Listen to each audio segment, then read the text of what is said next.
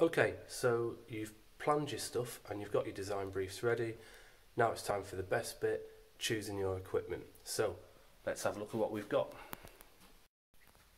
Okay, it's quite likely that you're going to need a tripod if you're doing any filming. So for brief two, we're doing filming and it's going to be really important that we can set it up in order to make it not shaky and in order to keep it still. So we've got a range of different tripods here that we can choose and uh, we need to go and choose our cameras. These tripods fit any of the cameras, it's the bases that are actually interchangeable. And you can pick up some cheap tripods for your phone as well. So I'll just pop up a link um, there.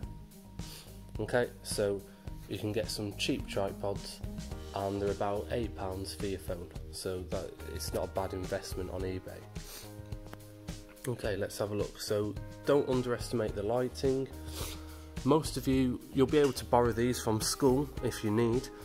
Um, but if you can't, then you know a desk lamp or a night light by the side of your bed can all provide additional lighting and can just help make your shot just look that bit much, uh, that bit more professional.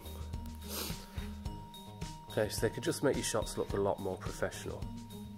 Okay, so um, I'm definitely going to need green screen. I've selected two for this, so two lots of green screen is going to be a great shout because it means that I can create that background look and I can superimpose the images that I want. Now it's time to select the cameras, so let's have a look at what we've got here. I might need the microphone. Um, the microphone I use is this one and it produces a pretty good sound quality and you can connect that up to cameras to give you a better sound quality if you want. Um, I'm also going to use this microphone as a prop. Okay. So these ones are your standard DSLR and you can actually, if you have a look using this, you can actually create a video and it does have sound on it as well if you need the sound. So these are really good um, for that. I've got a handheld camera here, really easy to use. Good thing that I like about this one is that when you open it, you can actually um, turn it around so you can see how it looks and how the screen's going to look whilst you're doing it. So there's me filming on my phone at the moment. Okay.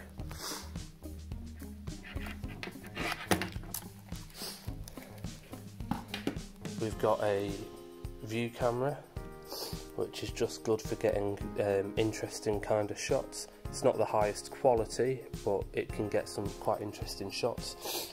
And then we've got these, really like these. These are cheap little lenses and you can add these to your phone and they just take a simple phone into a really high quality camera shot. So it's really simple you just clip that on the top over your camera and you'll see what it does now. Creates a macro there so I can get right in close and look at the quality of that. So that's just one lens that you can use and that gives you a really good idea of um, close-ups and things and these packs tend to come with a whole range of different sort of lenses. So you can have wide angle and you can have um, fish as well. So this one here I'll just try and um, put it on. Bear with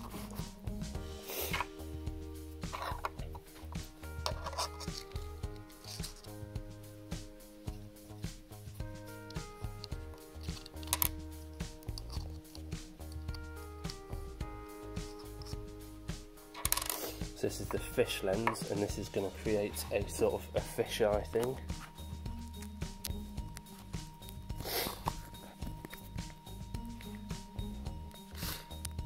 So that's like a fisheye lens there.